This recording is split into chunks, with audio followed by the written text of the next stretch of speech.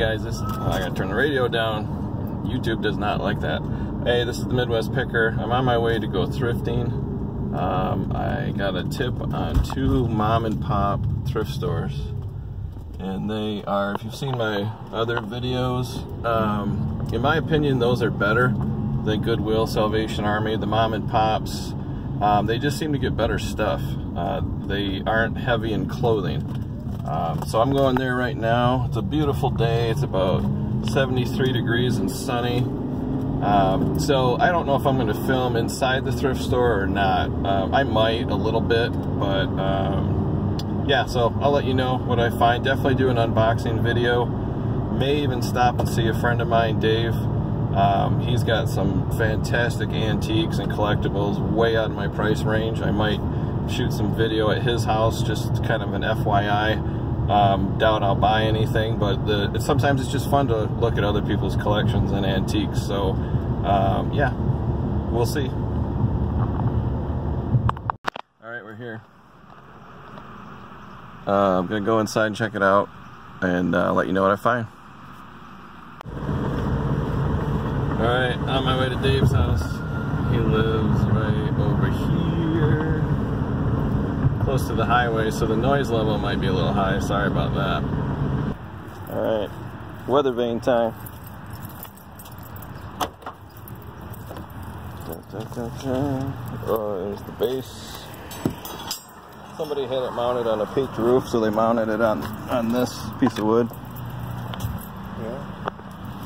And then uh, here's your east-west. You can figure it out. That goes there. And there's the other half. And then that's the top. And then that goes right on there. So when the wind blows, it spins free like that. So those those mount permanent, those don't move, but the horse moves. Then there's a bolt down here that's adjustable so it's not angled if you don't want it angled. This is Dave's ride. 1200 cc? Nice. What kind of exhaust pipes are those?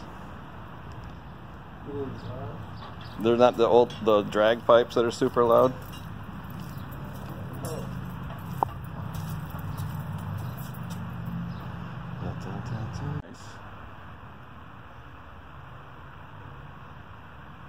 I can't put that on YouTube. That is the biggest wrench I've ever seen. How much does that weigh? Uh, 10 pounds? You should keep that in your car in case somebody tries to carjack you. 8 pounds. At least 8. Oh my gosh. 8 to 12 pounds. pounds. We need something for reference, so you have to stand right there.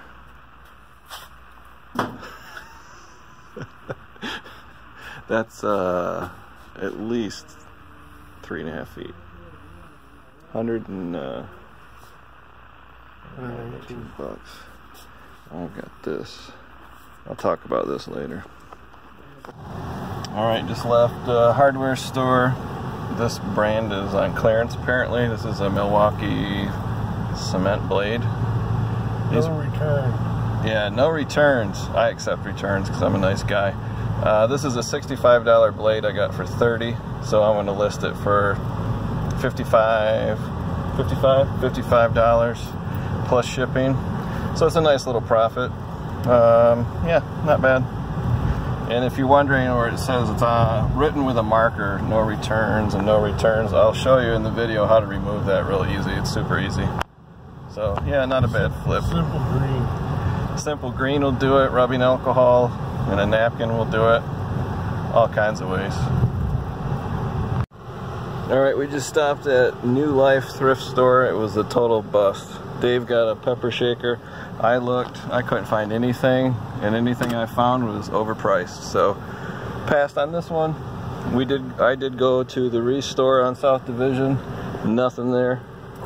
So far, everything has been a bust. So this would have been a better probably garage sale day, but you just have to take a chance. So now we're heading back to the to the house to shoot some video at Dave's garage. Okay. I'm back home. What a day. It is so hot outside. I need a haircut bad. Um, so that was my friend Dave. Super nice guy. Recently bought a house, so he's still in the process of unpacking, selling what he doesn't want. So he didn't want me to film in his garage. Um, so I respected his privacy and I didn't do that. But future videos, he said I could film inside his house, show his antiques. He's got some amazing antiques. Um, just unbelievable. Um, and then we're going to do a teardown. He's got like a shed that he wants to get rid of, so we're going to destroy that with sledgehammers. I'll, I'll make a video of that. Um, when his garage is in order, I'll make a video of that. So I hit uh, three thrift stores today, some with Dave, some without. Total bust. I mean, there's nothing out there. Um, so I don't know if it's because the nice weather, people aren't donating like they do in the wintertime. I don't know, but it's about 88 degrees, super hot out. So I was able to get one nice item, this saw blade. Uh, oops, hit myself in the face. I got this for a really good price, and I wanted to talk about hardware bolos or be on the lookout for. So a lot of times hardware stores will just clear out a certain brand for whatever reason. They just didn't sign or re-sign a contract or renew a purchase agreement, and they just want to get rid of a brand. So they pull it off the shelf, they put it in a bargain bin or a clearance uh, section, they don't advertise it real well. There's not giant signs all over, but you can find them and they're super cheap. So the margins on this are really good. So I did list this for $62 uh, free ship. Could have done 55 58 and charge shipping, but I just decided let's do 62 free ship. It's light, it's about 10 ounces, so it'll go first class, no big deal. Um, I mean, no more than 350 that I'll have to eat for shipping. And it's open to offer, so maybe somebody will make me an offer. So yeah, keep your eye out. Um, big box hardware stores, mom and pop hardware stores, especially the mom and pops that gets less traffic. They put stuff on clearance super cheap, and I the one I was just at, they had Leatherman pocket tools that were 50% off. Margins are too low, so I didn't get those. And they had other tools too, uh, screwdrivers and tape measures, but the profit margin is just so tiny I didn't bother. But this is really expensive, so I'll, I'll make about 20 bucks on this. I also stopped at uh, a pharmacy. I'll put pictures up here somewhere. And a lot of pharmacies will either have clearance sections, like this one does, like an end cap.